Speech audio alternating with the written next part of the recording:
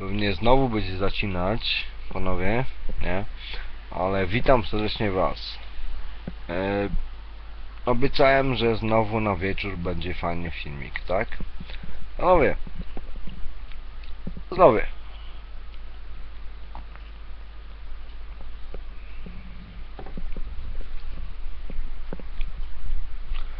Dziękuję osobie o znaku yy, wujek za wywiad ze mną.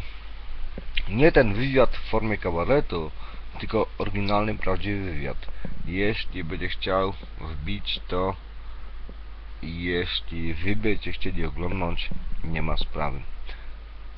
Cieszę się bardzo.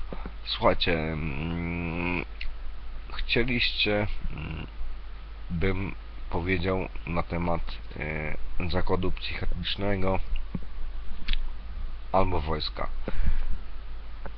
Dziś temat zakładu psychiatrycznego, więc mówię tak. Wy- Wybaczcie jedną rzecz. Po dwóch dniach pobytu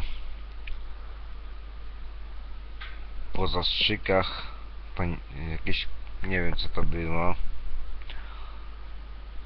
kumpel do mnie, który razem ze mną siedział, który, z którym razem poszliśmy, mówi do mnie tak Wreszcie jak jest to taki cwaniak, to załóż nogę na nogę. Kurwa, próbowałem. Ludziska. Nie dało rady założyć nogę na nogę. Tak mi kurwa dupa spuchła, że nie było szansy założyć nogi na nogę. A, zarazem e, w tak zwanych e, toaletach, gdzie były kobiety razem z nami, bo gdyż to oddział 4A był yy, kooperacyjny, można tak powiedzieć, nie? Czyli kobiety i mężczyźni. Nie było żadnych problemów, że na przykład poznać się z kobietą i coś tam z nią zrobić. Fajnie. Poznałem fajną kobietę, z którą się później wiązałem tak pi razy oko. A to było to dawno, oczywiście nie od razu mówię, że mm, te kobiety, które później ze mną były, niech nie patrzą na mnie krzywo. Nie, to była bardzo fajna kobieta. E, Już nawet chyba jej imienia nie pamiętam, bo wiecie, że jestem pieprznięty, nie? No, słuchajcie. Bardzo fajna kobieta była, bardzo fajnie mi z nim było. Później, e, po dwóch tygodniach, e, pan doktor stwierdził, że jestem bardziej normalny od niego i nie nadaje się na funkcjonowanie w tym ośrodku. Bardzo mi było przykro, naprawdę chciałem, chciałem zostać, chciałem tam dalej kurde być, chciałem dalej rozpieprzyć psychicznie ten zakład psychiatryczny. Nie udało się, trudno.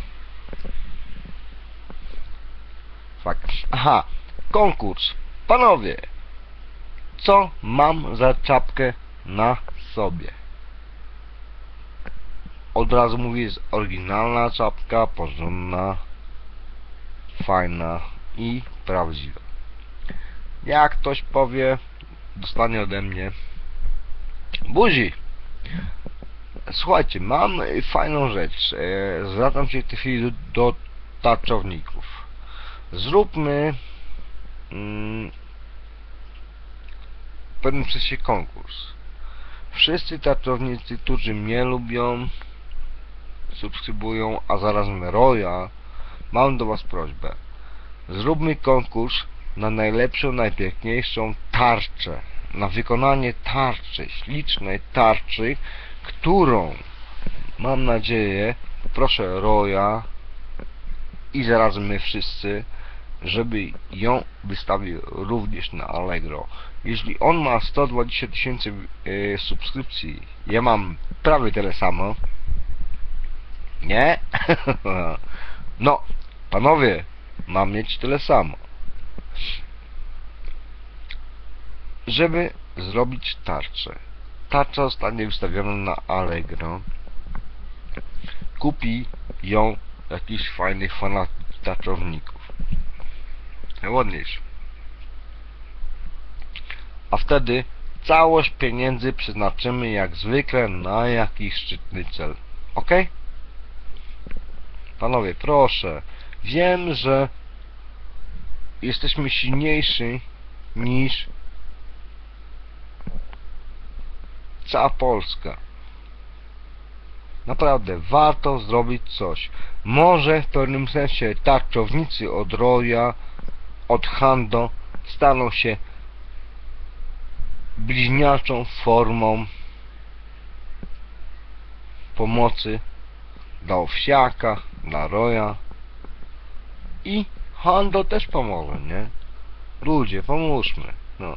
Bądźmy, bądźmy tacy lepsi od innych.